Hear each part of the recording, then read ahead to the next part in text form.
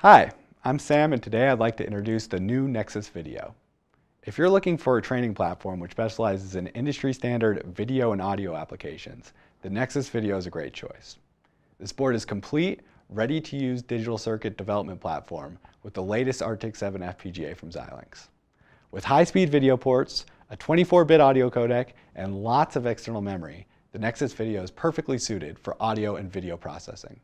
This new addition to the Nexys family shares all the characteristics of our Nexys line, including an Artix 7 FPGA and high-level communication and peripheral capabilities, which enable students to have unprecedented access to the industry-standard devices used in audio and video applications.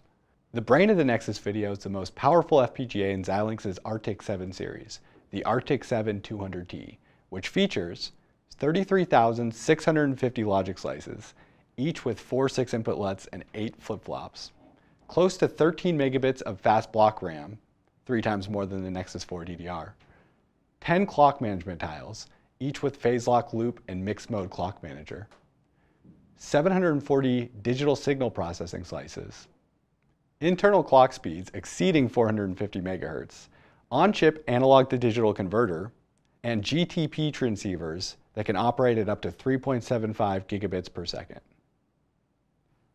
Let's take a look at the hardware on the board. You can see a variety of GPIO, eight switches, eight user LEDs, an OLED, and five user push buttons.